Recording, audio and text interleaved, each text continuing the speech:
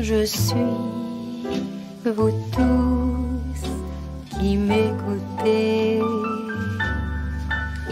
Plus quelque chose que je ne sais. Pas plus que vous mais que je touche. Et qui me force à me livrer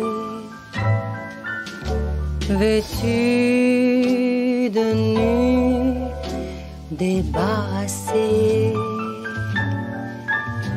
autant de vous que de moi-même.